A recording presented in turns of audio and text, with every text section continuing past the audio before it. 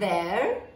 I'm really excited today because as you can see, I'm wearing my party dress because I'm ready for a birthday party. And that's why today we're reading A Birthday for Bear. It's written by Bonny Becker and illustrated by Kady MacDonald Denton. Are you ready? All right then, get into your nook because I've got a super fabulous book and let's start a Ramaailo read. Shall we begin? A Birthday for Bear by Bonny Becker. Bear didn't like birthdays. He didn't like birthday parties or balloons. He didn't like birthday cards or songs or candles. In fact, Bear was quite sure he didn't like anything to do with birthdays at all. Grumpy Bear. Swish, swish, swish. Bear dusted his shelves. Whisk, whisk, whisk. Bear swept his floor. He was very, very busy today. Bear was always very, very busy on his birthday. He opened the door to shake out his broom and there was Mouse, small and grey and bright-eyed. Happy birthday, Bear, cried Mouse. It's not my birthday, lied Bear. But it says so right here, said Mouse, waving a party invitation. Let me see that, demanded Bear. He peered at the card. It read, Dear Mouse, come to Bear's birthday party at Bear's house today. Balloons and presents and birthday cake. This is your handwriting, protested Bear. You wrote it. Did I? Asked Mouse most innocently. Yes, said Bear. He sounded quite certain. Mouse hung his head. Shameful trickery, he confessed. Terribly sorry. But perhaps we could just have one little birthday party? I do not like parties. I do not like birthdays. And I especially do not like parties for me at my house, Bear announced. And he swept Mouse out of the door. Slop, slop, slop. Bear mopped the hallway.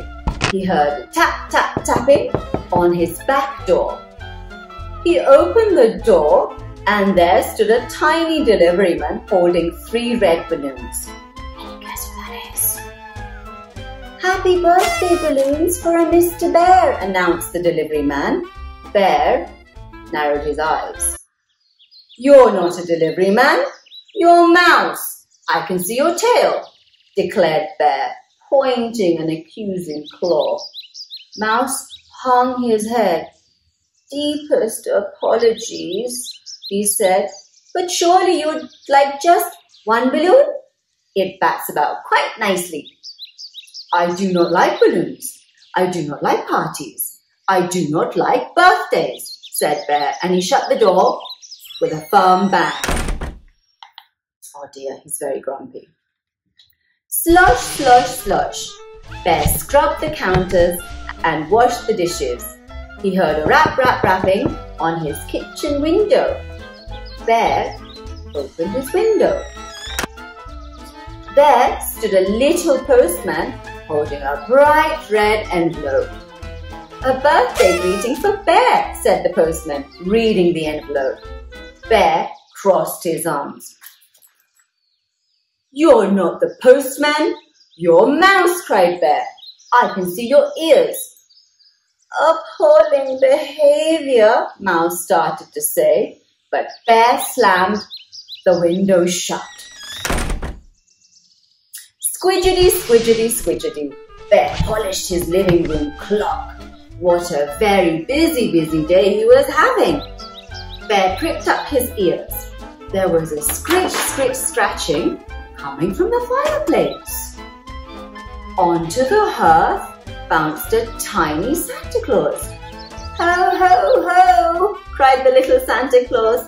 A Christmas present for Bear. Christmas already, thought Bear. He reached for the present and then snatched back his paw. Wait a minute, growled Bear. It's not Christmas, it's my birthday. You said it wasn't your birthday. The little Santa Claus looked very pleased with himself. Bear glared. You're not Santa, he shouted. You are Mouse. I can see your whiskers.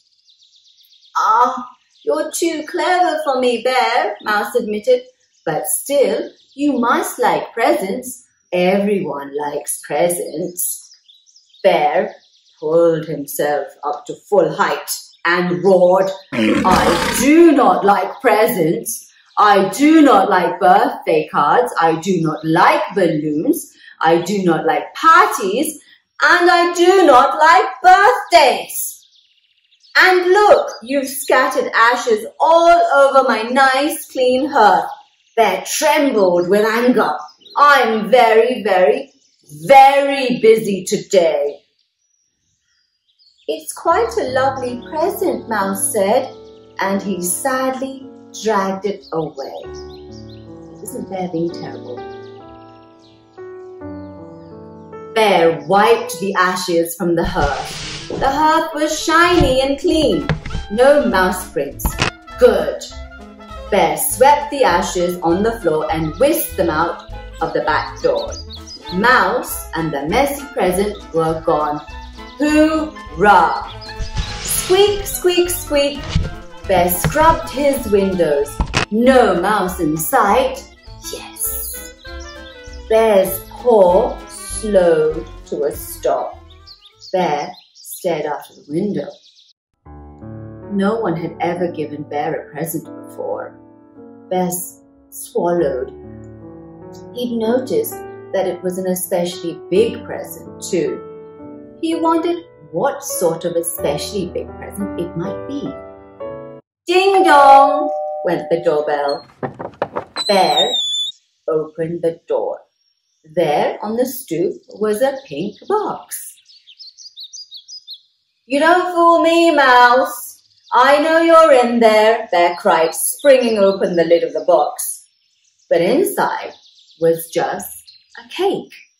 A big cake with chocolate sprinkles and chocolate ice cream and the and the words Happy Birthday Bear written in chocolate icing. I do not like birthday cake either, Bear announced loudly so that Mouse could hear. Bear glared into the bushes. He looked behind the door and he peeked under the box. No postman, no deliveryman, no Santa, no mouse. Bear picked up the, the box and hurried to the kitchen. He glanced around, then lifted out the cake. He swiped a paw of creamy icing and was just about to plop it in his mouth when out of the cake popped Mouse small and grey and bright-eyed. Aha! cried Mouse. You do like birthday cake. Bear looked down at the chocolate cake with chocolate icing and chocolate sprinkles. I made it myself, added Mouse with an eager flick of his tail. No one had made Bear a birthday cake before. Even so, Bear started to say, I'm very, very busy today, but then he didn't. Chocolate is my favorite, Bear admitted. Mouse flicked his tail and whisked out of the door. Oh, wait, cried Bear. Quick as a whisker, Mouse was back. He tied three red balloons to Bear's chair, plunked a sparkly birthday hat on Bear's head, and set an especially big present on Bear's lap. Bear lifted the lid of the present. Crinkle, crackle, crinkle. He parted the crisp white paper. In the box nestled a pair of shiny red roller skates, just the right size for a bear. Happy birthday, cried Mouse. Thank you, Mouse, said Bear gruffly. I've always wanted a pair of shiny red roller skates. Bear cleared his throat. Perhaps I don't mind birthdays after all. Then Bear cut a big slice of cake for himself and an especially big slice for Mouse. And Bear and Mouse ate the whole cake, every sprinkle, every crumb. The end. Wow, wasn't that such a fabulous birthday story? I loved it and I hope you did too. Now I have got a birthday to get to, Bear's birthday. You can see his present right here. But I will see you the same time next week. I hope that today you've had a really Ramaailo read with me and I'll see you soon. Bye!